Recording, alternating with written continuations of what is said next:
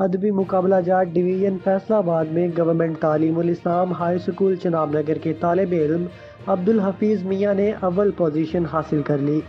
तफसीत के मुताबिक, divisional level पर अदबी मुकाबला जात का इनका हुआ, जिसमें गवर्नमेंट तालीम हाई स्कूल चनाब नगर के तालब इल्म अब्दुल हफीज़ मियाँ ने अव्वल पोजीशन हासिल की।